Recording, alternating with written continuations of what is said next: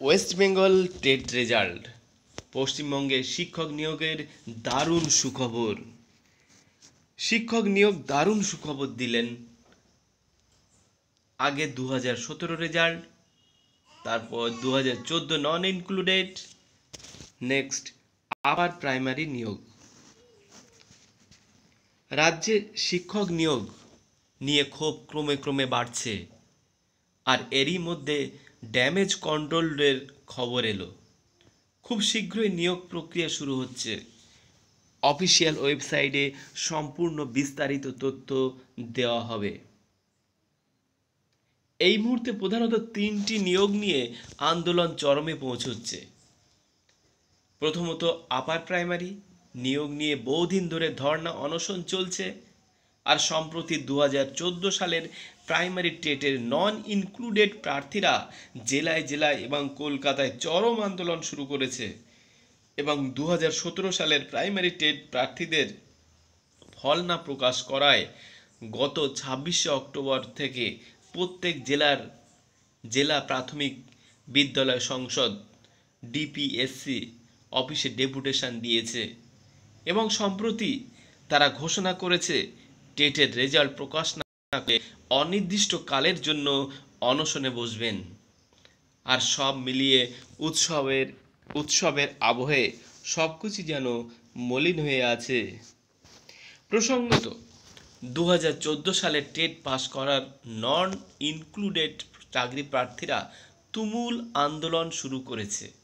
অন্যদিকে দু হাজার সতেরো সালে পাশ করা প্রাইমারি চাকরি প্রার্থীরাও রেজাল্টের জন্য আন্দোলন চালাচ্ছে। আবার আপার প্রাইমারি চাকরি প্রার্থীদের, প্রার্থীদেরও চলছে অবস্থান ও বিক্ষোভ।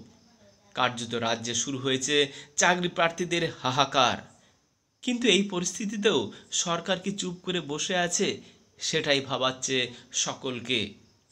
এদিকে অভিযোগ দু হাজার চোদ্দ সালে পাশ করা নন ইনক্লুড চাকরি প্রার্থীদের দাবি অনেকেই পরীক্ষায় পাশ না করেও চাকরি করছে। আর আমরা পরীক্ষায় পাশ করার পরেও সরকার আমাদের দিকে নজর দিচ্ছে না। আমরা পথে পথে ঘুরে ঘুরে আন্দোলন করে বেড়াচ্ছি, মন্তব্য চাকরি প্রার্থীদের।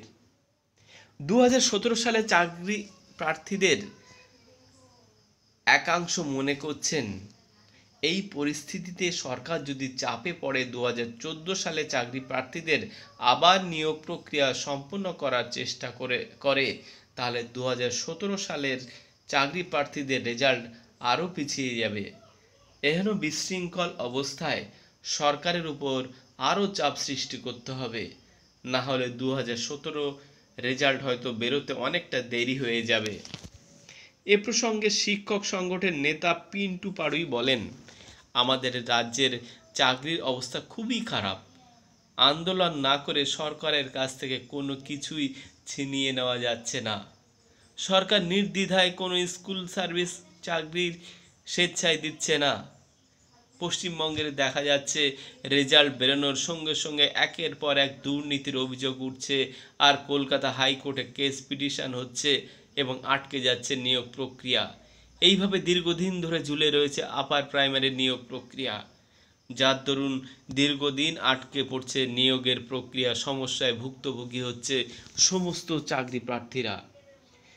এই পরিস্থিতিতে তাই চাকরি প্রার্থীরা মনে করছেন, সরকারের কাছ থেকে দাবি আদায় করে নিতে হলে তুমুল আকারের বৃহত্তর আন্দোলন করে সরকারের দৃষ্টি আকর্ষণ করে তবেই যে কোনো নিয়োগ প্রক্রিয়া সম্পন্ন হবে। এদিকে শিক্ষা দপ্তর সূত্রে খবর, খুব শীঘ্রই সমস্ত পেন্ডিং নিয়োগ শেষ হবে। চলতি বছরে সমস্ত কোর্ট কেস ক্লোজ করে নতুন বিজ্ঞপ্তি প্রকাশ করবে সরকার।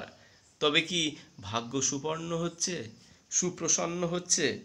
প্রশ্ন থেকেই যাচ্ছে, সব নিয়োগই সম্পন্ন হবে নাকি দু হাজার চোদ্দ, নাকি দু হাজার সতেরো অথবা আপার প্রাইমারি? পরবর্তী খবরের জন্য চ্যানেলটি সাবস্ক্রাইব করে রাখুন। Thank you.